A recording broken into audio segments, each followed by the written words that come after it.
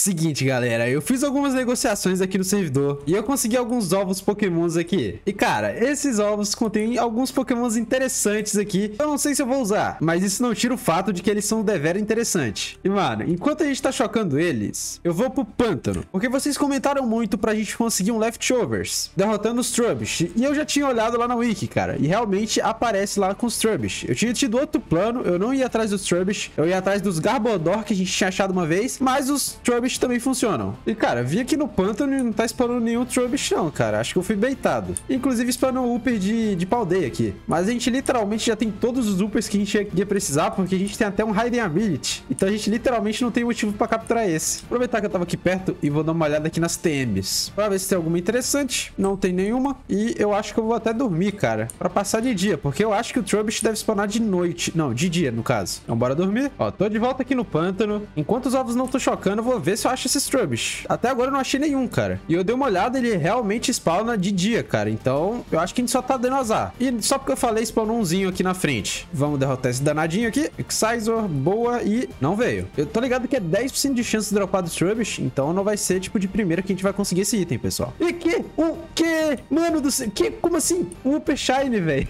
ah, mano, é um Upper normal Shine, cara. Ô, oh, velho, se fosse o Upper de Paldeia Shine ia ser muito louco, mano. É um Upper Shine normal, velho. Vou fazer um teste. Será que se eu usar uma, uma Anciente, será que ele vira o de Hisui? Vou fazer esse teste aqui, que vai que, tá ligado? Vai que usando Anciente ele vira o de Hisui. Apesar de Hisui não ter nada a ver com o passado, né? Mas nunca se sabe se os caras programaram errado, né? E o Paldeia Upper pode vir com uma Anciente Pokémon, talvez. Vamos testar. Capturamos e não funcionou, cara. A gente conseguiu um Upper normal, Shine. Não, não queria, né? Não queria. Eu queria um, um Upper de Hisui Shine, velho. Mas o Quagsire é um excelente Pokémon, cara. Não descarto que a gente pode usar ele aqui no nosso time. Vamos derrotar esse boss aqui do jeito antigo, né? Usando o nosso, nosso Perish Song. Boa. Consegui uma Rock Helmet. Bom item. Ó, achei mais um Trubbish aqui. Vamos dar um Close Combat. Será que é esse? Não, não é esse que vai dropar. Ó, derrotei mais um. E aqui na frente tem mais umzinho também. E também não dropou, velho. Aí, finalmente, umzinho dropou um Leftovers, cara. Demorou um tempo, vai. Eu tive que derrotar alguns Trubbishes. Mas é, o que eu precisava aqui era isso. E agora a gente não tem outra alternativa senão chocar esses ovos, no caso, né? São dois. E se liga só, consegui chocar os dois ovos. E foi... Os dois foram fêmeas, cara. Que é muito, muito bom pra gente mesmo, pessoal. Porque a gente vai precisar fazer alguns bridges neles. Principalmente no nosso Quexley. E eu pedi emprestado, respectivamente, do Zani e do Segara. Eu pedi emprestado os iniciais deles. Mas agora que a gente já tem duas fêmeas, a gente nem precisa mais dos, dos iniciais deles. A gente pode usar os nossos mesmo. E, cara, pra gente fazer esses carinhas aqui, a gente vai precisar de Egg Moves. E como vocês sabem, Egg Moves não são coisa tão fácil assim. Então eu vou ter que ir atrás de bridar eles com alguns pokémons específicos.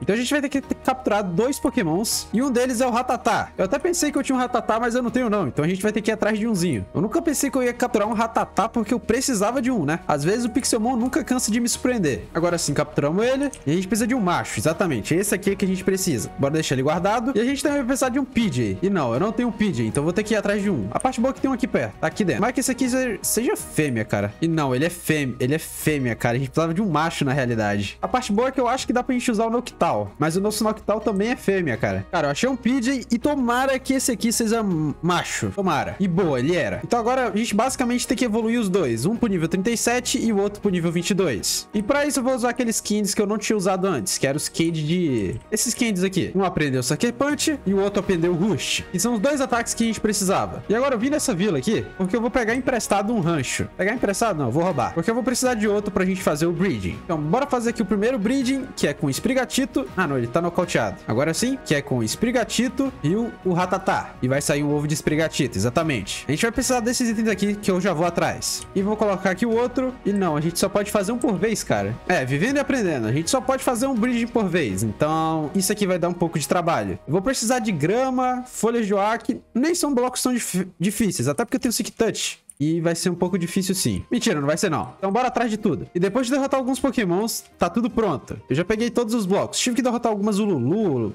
Mil Tank, mas acredito que esteja tudo aqui, cara. Vamos testar e é. Agora a gente só vai ter que esperar longas duas horas. E realmente a gente só pode usar uma box, cara. Na realidade não, a gente pode usar duas sim, é só a gente clicar aqui. Então bora colocar o PJ e o Quaxley. E agora tá fazendo ele. E bora atrás dos itens. É, tem alguns itens aqui que são relativamente fáceis, né, como negócio, mas a maioria a gente vai conseguir. Até porque eu já tinha feito um bridge parecido. Então bora atrás de tudo. E beleza, consegui todos os itens que a gente precisava. Agora é só clicar na segunda box e bora ver se a gente conseguiu tudo mesmo. Beleza, beleza, beleza. E boa, tá aqui, dois ovos fazendo. Então agora a gente só vai ter que esperar duas horas. E é, vai demorar um tempinho. E pessoal, já faz um tempo que eu tô aqui e eu até saí de casa, fui comprar um pão, jantei e cara, eu acho que já tá na hora. Vamos ver. E boa, já tem os dois ovos aqui. Conseguimos dois. Agora é só clicar aqui pra conseguir o outro. É, tá aqui o outro ovo também. E boa, agora a gente tem dois ovos dos iniciais com os egg moves. E a parte boa, que eu acho que poucas pessoas aqui nos servidores têm esses egg moves. Então agora a gente só tem que chocar o ovo. Eu poderia chocar do jeito automático, deixando numa água, mas eu prefiro voar. E enquanto eu tô voando, eu vou explorando, procurando loots e coisas do tipo. Porque aí você vai garantir pra gente um pouco de qualquer coisa.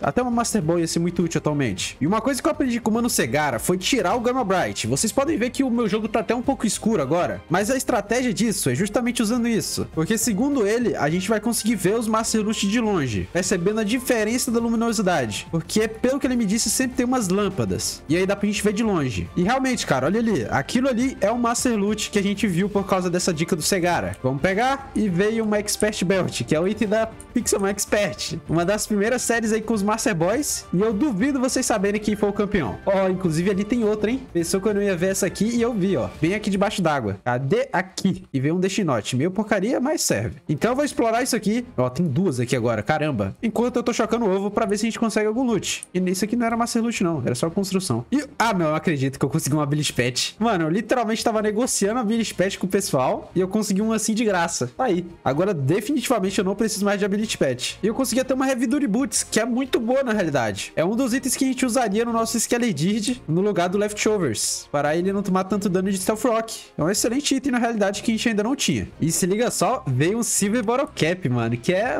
pela madrugada, velho. Silver Bottle Cap é muito bom. E, cara, eu acho que eu vou usar esse Silver Bottle Cap, pessoal, no nosso Galarian Darman, então. Ele é um dos nossos pokémons mais fortes, sem dúvida, e ele merece. Vamos só dar uma olhada de quanto que vai ser o aumento. Ó, a gente vai aumentar... Caramba, olha isso. Olha o aumento de speed que a gente vai ter no Galarian Darmanita, velho. Esse Darmanita aqui, ele era muito ruim, velho. Mano, se a gente for ver, o nosso Darmanita, ele tinha um de em speed, cara. Faz sentido ele ter aumentado tanto com o Bottle Cap, velho. É, ficou de dia, então não faz mais sentido a gente ficar sem o Gamma Bright. Apesar que dá pra ver um pouco dentro d'água. O que não dá pra ver é fora. E se liga só, voltei pra casa com os dois iniciais chocados. E se a gente for ver aqui, um deles tem Rust e o outro tem Sucker Punch, que são dois ataques que eles iriam precisar. E, mano, eu tô muito animado pra fazer o treinamento desses carinhas, porque eles são extremamente fortes. Principalmente o Sprigatito. Então, cara, bora parar de enrolação e bora fazer evoluções deles. E eu acho que eu vou usar um pouco das nossas candies, porque a gente nem tá usando ela direita. A gente tá muito acostumado, né, com usar os nossos curries e a gente não tá usando. Então, bora evoluir o Quaxley primeiro? Ó, ele já tá evoluído e a gente não tá conseguindo ver nada, infelizmente. E boa, pessoal. Ele evoluiu pra um Quaxwell, que é um patinho muito simpático. Mas ele não vai ficar muito tempo como Quaxwell, não. A gente vai evoluir ele de novo. E ó, ele já tá evoluindo também. E boa, pessoal. Ele virou um Quaquaval muito louco. E se liga só que bicho brabo. E, mano, aproveitando que a gente já tá fazendo tudo, já bora deixar ele perfeito. Só que antes, vou colocar o Gamma Bright. Agora sim tá bem melhor. E já bora evoluir esse carinha aqui. E a gente vai precisar de ataque e speed. Porque eu não vou poder fazer a build de Belcup. Porque ele não tá aprendendo nessa versão, por algum motivo. Na realidade, nenhum dos três pokémons estão